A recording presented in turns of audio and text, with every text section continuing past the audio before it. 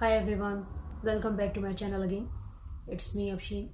Today I am gonna talk about uh, one of the most important topic related to the registry exam.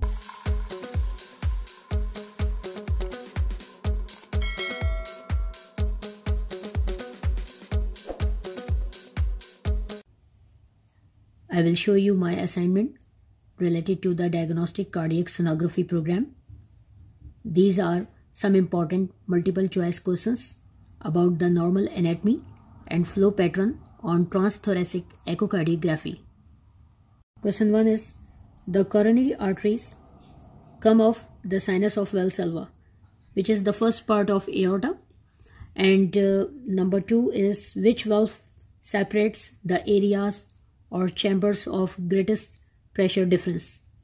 So the mitral valve is the valve which is present between the chambers with highest pressure difference.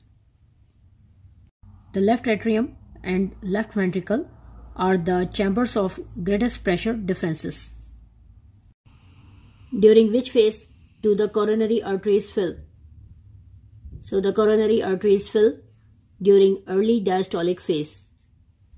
The next important question is starting at the top and working clockwise Name the four apical wall segments in the parasternal short axis view. The anterior, inferior, lateral and septal are the four apical wall segments in the parasternal short axis view. Name the vessels coming off the aortic arch. So these are the vessels coming off the aortic arch are the right brachiocephalic or innominate artery, the left common carotid artery, and the left subclavian artery. Another most important question what cardiac pathology is associated with the bicuspid aortic valve? This is aortic coarctation Aortic coarctation is the cardiac pathology which is associated with the bicuspid aortic valve. Where do the most aortic coarctations occur?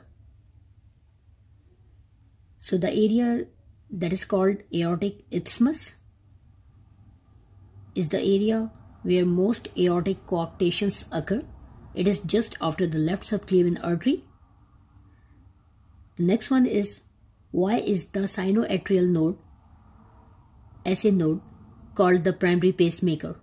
The SA node, which is sinoatrial node, has the highest intrinsic rate, which might be 60 to 70 or 60 to 100 BPM. Next question. What type of vessel has thin collapsible walls which can expand rapidly to accommodate large volumes of blood and contains the majority of circulating blood? It's the vein. Another question. The normal arterial pressure is 120 over 80 mmHg thus the aortic pressure lives high. The right side oxygen saturation levels are normally 75% which is less than the left side. And uh, what is the normal oxygen saturation of pulmonary veins? It's maximum which is 95 to 98%. Next question. Which valves are open during diastole? Those are tricuspid and mitral valves. Next, name the three cusps of the aortic valve.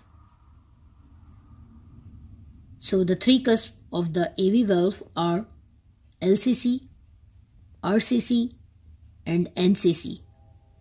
LCC means left coronary cusp, RCC right coronary cusp and NCC is non-coronary cusp which is a posterior. NCC or non-coronary cusp is a posterior cusp. Where is the Chiari network or system located? So the Chiari network which is the extension of eustachian valve is located in RA. And the next very very important question is that starting at the top and working clockwise, name the six basal wall segments in the transverse view of parasternal short axis. So the name of uh, six basal wall segments are anterior, inferior, anterolateral and inferolateral, inferoseptal and anteroseptal. So these are the six basal wall segments found in the transverse view of parasternal short axis.